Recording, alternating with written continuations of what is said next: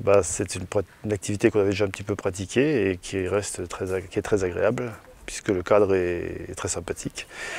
Et les encadrants aussi d'ailleurs, que du plaisir. Et puis euh, je pense que la gare Temple se prête particulièrement bien à, cette activité. L'ensemble est calme, c'est reposant.